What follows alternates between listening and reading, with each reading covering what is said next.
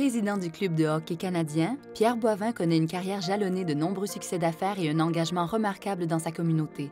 Il dirige toutes les activités sportives et culturelles qui sont présentées par les entreprises du Centre Bell, qui attirent plus de 2 millions de spectateurs par année.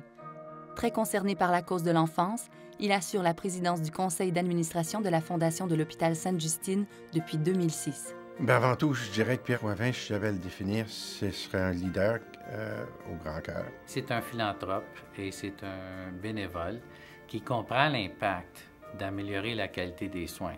En plus de son engagement auprès de l'hôpital Sainte-Justine, Pierre Boivin crée en 2001 la Fondation des Canadiens pour l'enfance. Depuis, cette dernière a versé 7 millions de dollars à plus de 350 organismes du Québec venant en aide aux enfants malades ou défavorisés. Euh, dans le hockey professionnel en Amérique du Nord, euh, Pierre est vu comme étant euh, le standard. C'est lui qui a décidé, dès son arrivée à la présidence du Canadien, de mettre sur pied la Fondation des Canadiens de Montréal pour les enfants. Pierre Bovin, c'est un des bénévoles les plus importants, je pense, pour la communauté de la Faculté de médecine de l'Université de Montréal. Un de ses objectifs, c'est vraiment le développement de la pratique optimale de la pédiatrie, donc aider le plus grand nombre d'enfants. Philanthrope engagé, Pierre Boivin possède une générosité et un sens de l'entraide hors du commun. Il sait faire preuve d'inventivité et de détermination dans tous ses projets.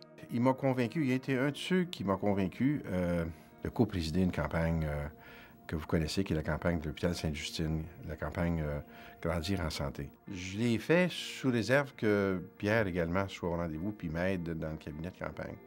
Et il a non seulement rencontré ses engagements, il a dépassé mes attentes.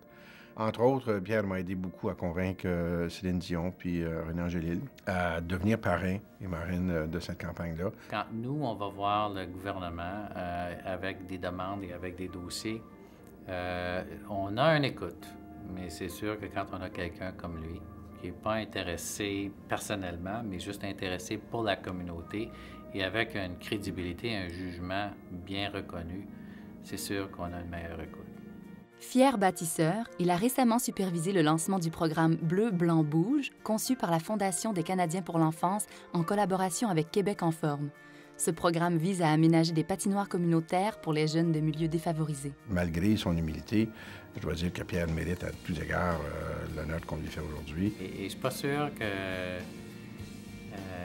comprend euh, à quel point on apprécie le travail qu'il fait et l'impact qu'il a sur la société québécoise il a réussi à faire bouger l'aiguille, à améliorer, dans le fond, la communauté au sein de laquelle il vit. c'est ce qui définit, dans le fond, des grands hommes, des personnes qui touchent la vie d'autres personnes autour d'eux. Et certainement que Pierre a fait ça pour bien des gens, incluant la mienne. Des gens comme lui, on en a très peu au Québec. Et euh, on serait une meilleure société si on en avait plus, honnêtement.